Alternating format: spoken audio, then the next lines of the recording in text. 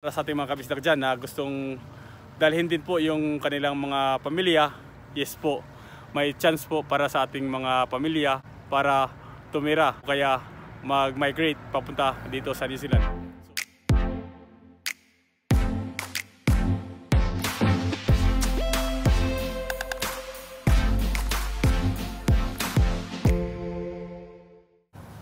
At andito po tayo ngayon sa lakeside ng Queenstown, New Zealand. At pangarap mo rin po ba yung pumunta o magtrabaho po dito sa New Zealand?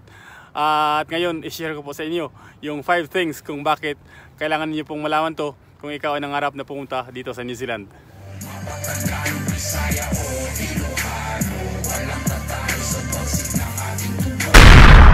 Welcome back po ulit sa aking channel mga kabisdak at andito po tayo ngayon sa lakeside ng Queenstown, New Zealand.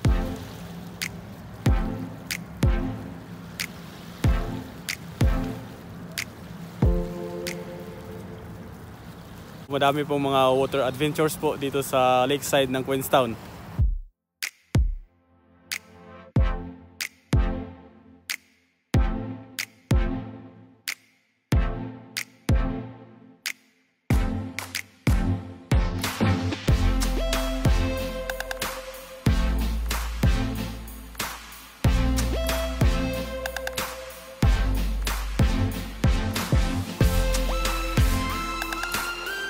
Napakahaba po ng lake na to.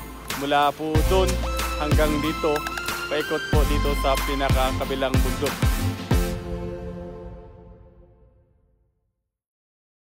At para sa ating mga kabisdag dyan na bago lang po sa aking channel, please consider subscribing po. Dahil dito po sa aking channel, malimit ang pinag-usapan ko po dito, yung mga job hiring, mga latest job opportunities, lalo na kung ikaw ay nangarap na magtrabaho dito sa New Zealand.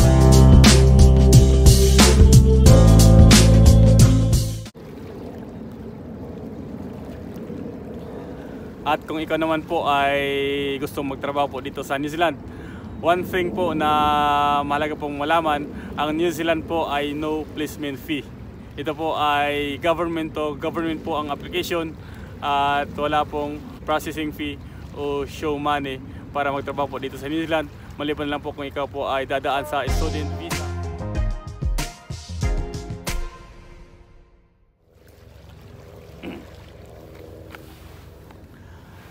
Ang New Zealand po ay pasok po to sa top 10 most safest country in the world. Kaya wala pong pangamba kung ikaw po ay gusto magtrabaho dito sa New Zealand, ikaw po ay ligtas at safe sa anumang pangamba o panganib na kinatatakutan niyo po kasi napaka-safe po talaga magtrabaho po dito sa New Zealand.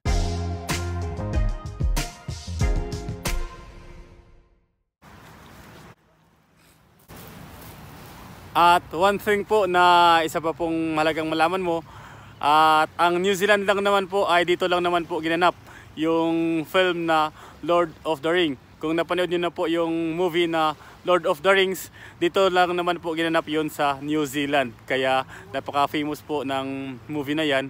At yun po, napakagandang place po ng New Zealand at famous na famous po. At dito po ginanap yung Lord of the Rings.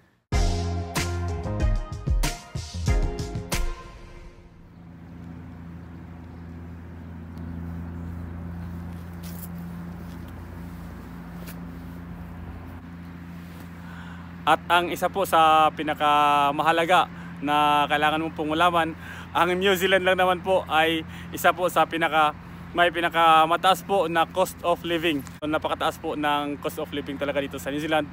Yung rent, yung food, yung basta lahat po ng mga uh, expenses po dito sa New Zealand. Cost of living ay talagang napakataas po ng cost of living dito sa New Zealand. So yun po dapat niyo pong malaman yung mga bagay na yan kasi para pagdating niyo po dito sa New Zealand ay mas madali po kayo makapag-adjust at meron na po kayong idea.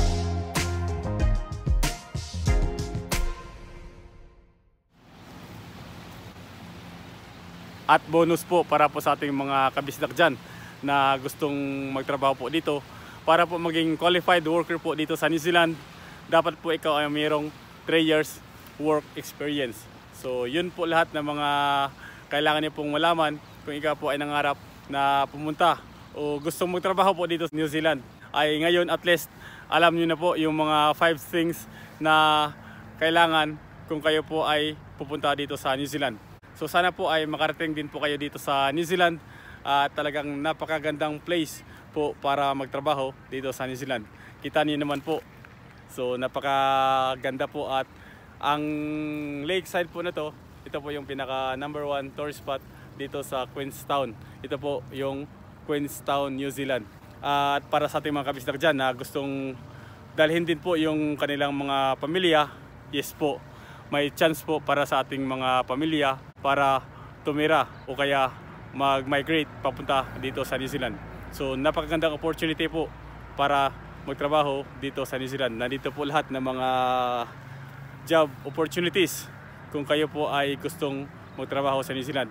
So marami na rin po tayong mga kababayan ang naging successful po yung kanilang life dito sa New Zealand. So in-encourage ko po ang lahat na kung kayo po ay nangarap din po para sa napakagandang bansa at napakagandang lugar na pagtatrabahoan, ito po yung New Zealand.